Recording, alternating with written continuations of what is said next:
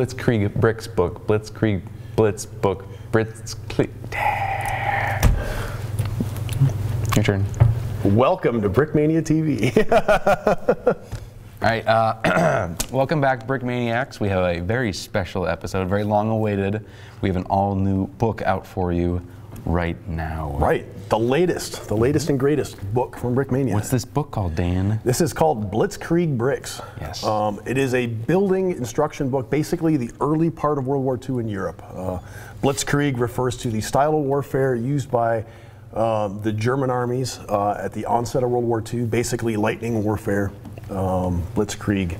So the idea being that you would overwhelm your enemy with speed, ferocity, and uh, basically multi-prong attacks. So you'd have a pincer attack, you'd have attack from both sides. You surround chunks of your enemy and destroy them, uh, encircle them and destroy them. You'd attack from air, sea, and land at the same time, simultaneously. Basically shock your uh, enemy into submission. And it was very effective for the first part of the war. Sure. So. So now, yeah, you have you have a, assortment here of vehicles that would be uh, involved Right. at the beginning of that. As with most Brickmania books, the the theme of this book um, is it, it is a themed book. It is a Blitzkrieg.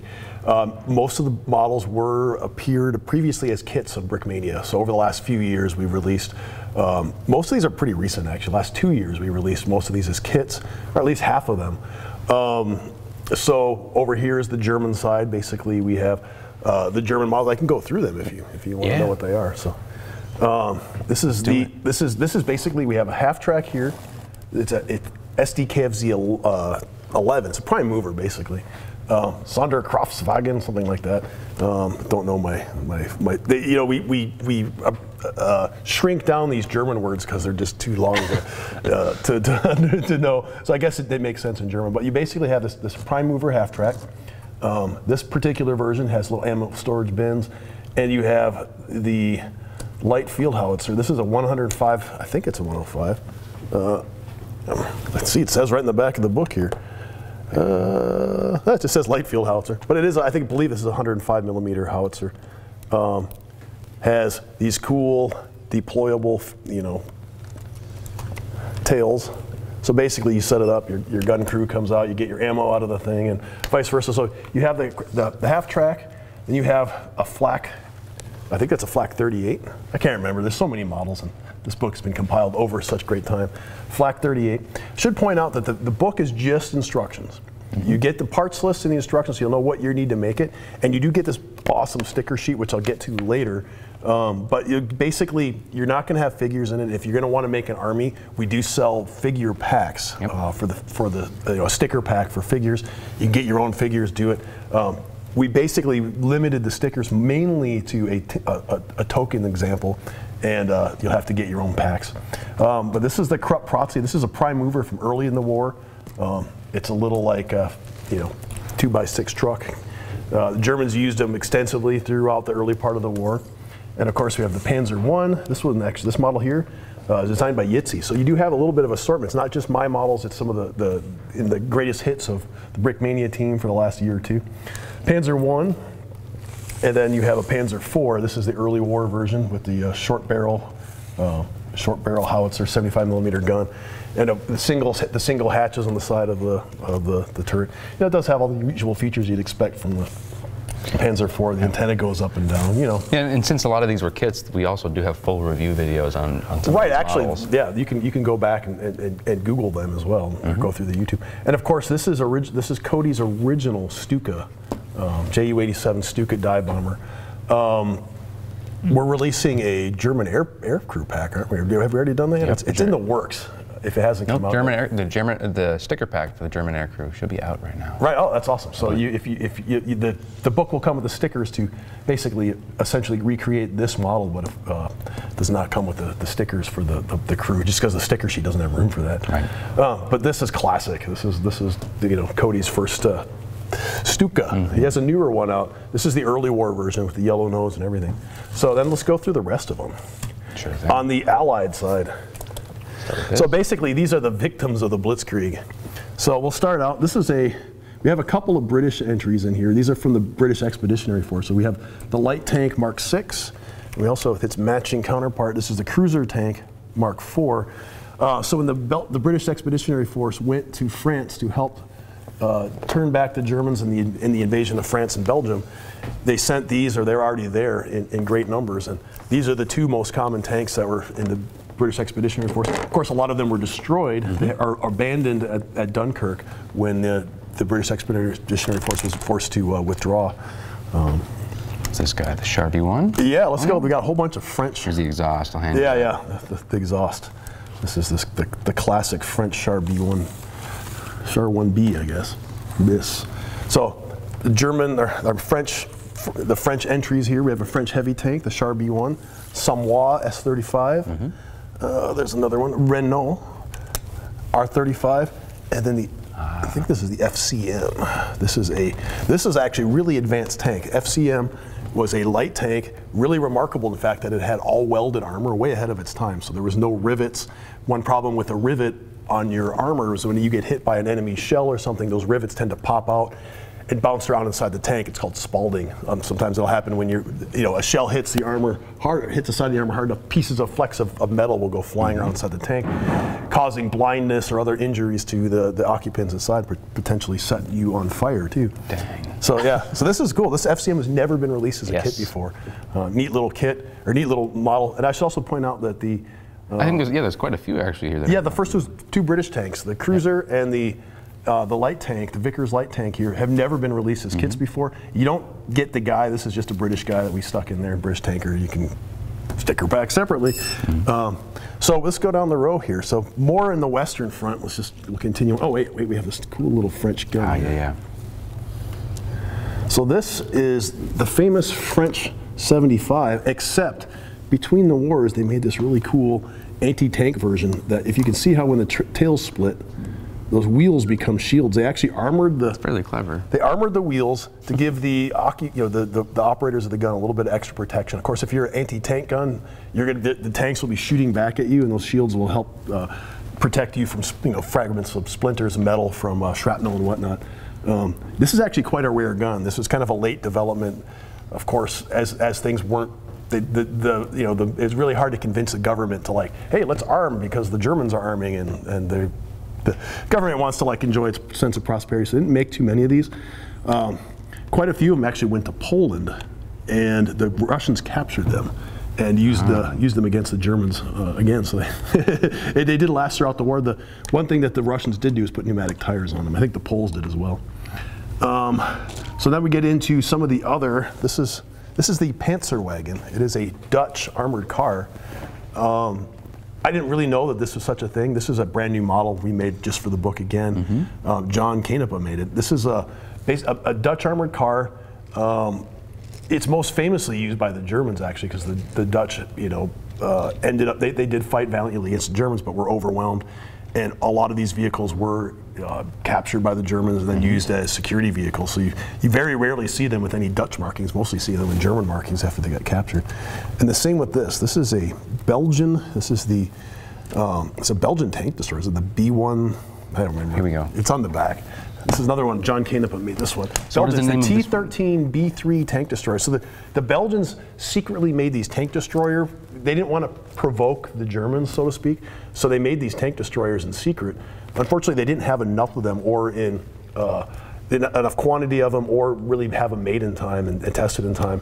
Uh, to be much of a use against the, the German onslaught, but uh, they did have them. The Germans ended up catch, capturing a bunch of them.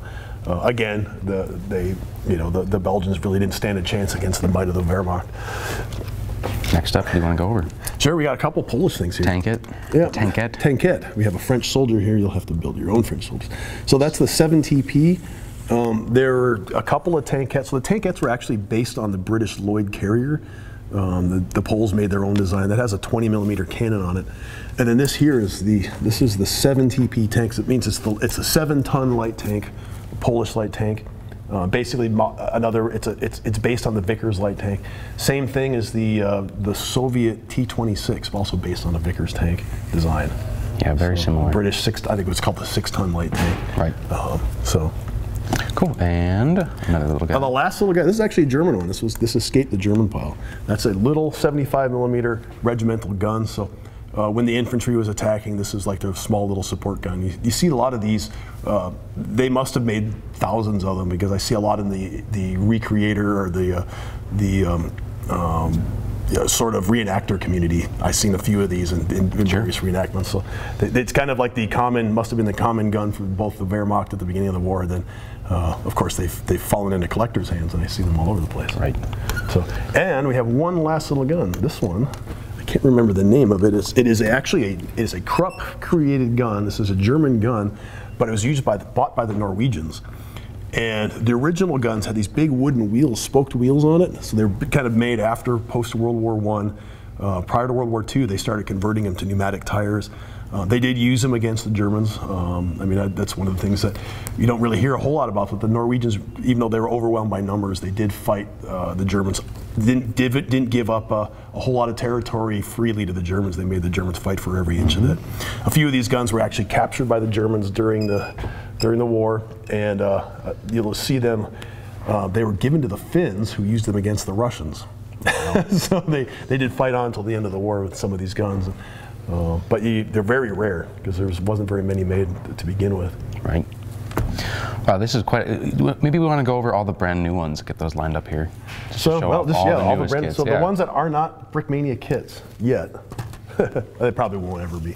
Um, yeah, we're kind of like one of these things. Once it gets released as a book, chances are we're not going to release it as a kid or, or restock it because there's just so many other new things that we want to so go much through. cool stuff out there. Yeah. So these are all the new ones. Never before get that sound. This one. We've all of these. we've released this before. Yeah, that was ancient. We, this came out. This was like a mini kit a long time ago. So there's quite the lineup of ex- book exclusive Right. stuff. So one, two, three, four, five, six, seven, eight, nine exclusive models. If you want to know why the book took so long, that's it right That's there right because we had to develop. These had the same amount of development time as a normal kit would take. So uh, they're actually quite refined models, opening hatches, all the things that you'd expect from a, a Brickmania Right. model. They're not just there for show. They actually fully functional, um, you know, working suspension, things like that. So um, it's yeah, I mean, you're, you're basically the only way you're going to get these models. Get the book, get some parts. Yeah. Uh, the book does have a parts list. You do have um, a visual parts list at the beginning. Let me find one here as an example. Yes. I should also point out that the book has lots of action shots in it. So every just about every Just model. about every model, yeah. You'll have some sort of like one of our fancy action shots. The, the cover itself is a unique we made just for the book. So you have action shot, and then you'll have this awesome visual parts list that'll show you exactly what you need. So this is for the whole model. This is the entire model here in visual. And then here it is per step. So when you're going through, if you're, if you're like, oh, I don't know which pieces, you can actually line up all your pieces ahead of time.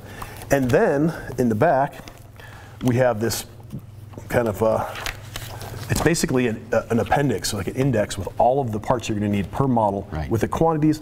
The numbers in there are parts numbers, and those parts This is numbers. hugely, hugely helpful when you're trying to get a hold of pieces. Right, if you if you don't have most of the pieces and, and you want to go to like say something like Bricklink, these numbers will generally correspond with the Bricklink numbers. Um, I should point out that it's not foolproof. Sure. Uh, the numbers do change over time. So when you, when we buy the book, or when, you, when we release the book, we base, basically that you can go to Bricklink, pu- punch in those numbers. It may it may be show up as an alternative number, but you'll find it nonetheless. They do change over time though, which is kind of frustrating for everybody, but we're, it's out of our control. Sure. Um, Lego usually doesn't change their part numbers, and on the bottom of a Lego brick, if you look really closely, there's usually a mold number or a part number on the bottom. That's what that corresponds with. But Lego does change them over time.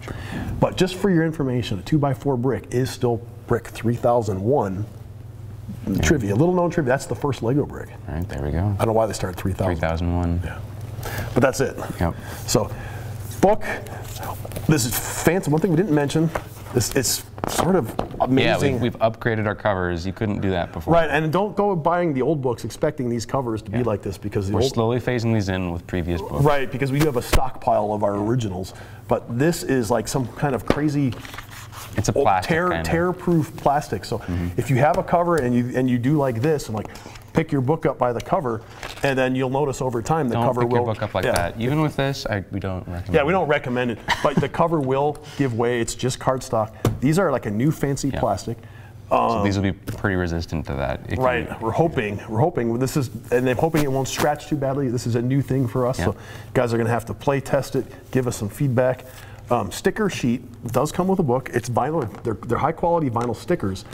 Uh, almost everything you're going to need. Um, we didn't, you know, because the book is basically general models. You don't have every every you know printed element recreated as, uh, recreated as a sticker. We have most. Right. Just about everything you're going to need. Yeah. It'll still look wonderful. You can make the models as, as they are, and of course, Brickmania does plan on releasing supplemental sticker, sticker packs in the future. Absolutely. Yeah, and this is a highly, highly anticipated book. Um, you know, we've been working on this for a very long time, uh, and we're super excited to finally have this thing released. Uh, so this is jam-packed with uh, obviously a ton Right. of models. And this this is coming out Friday. Um, if you you know basically what I, one word of caution is that we know that this is going to be a popular book. Mm-hmm. It might take a few days to ship them all because when we have an important release like this, sometimes we get flooded with more orders than our, our customer service team can handle right away. So Yeah. give give them some patience. If you order it over the weekend, um, it might be shipped on Monday, Right. Tuesday. That's only for new releases. Of course, if you're watching this video a couple weeks after the fact, that doesn't mean anything. We'll have books in stock. Yeah, we're trying to we're going to try and keep this in stock as much as we can. It batches will sell out occasionally, but we plan on bringing it back uh, for the indefinite future, right? Right, and then they, yeah, it'll be in print uh, pretty much all the time. We will do a, a uh, perfect bound version for the, the collectors who like to have the nice spines in their, in their, in their book collections. So, yeah, super exciting book. Um, any other things you want to point out? No, get them while you can. Yeah. You're not going to be able to get it on Amazon. I mean, we're basically, at, at this point, we can barely keep up with demand for these, so we're not going to give them to, to anyone else. You only, be able to, only way you're going to get it is go to brickmania.com or one of our official resellers, um, so Brickismo, um, et cetera. Cool, very cool. Um, yeah, again, super exciting release here. We are all very proud of this thing. Uh, cool project that we've been working on for a while. So, for more information on how you can get this, brickmania.com. Um, with that, I think that's the episode. That's the episode. Thanks Thank for watching. you. Thank you.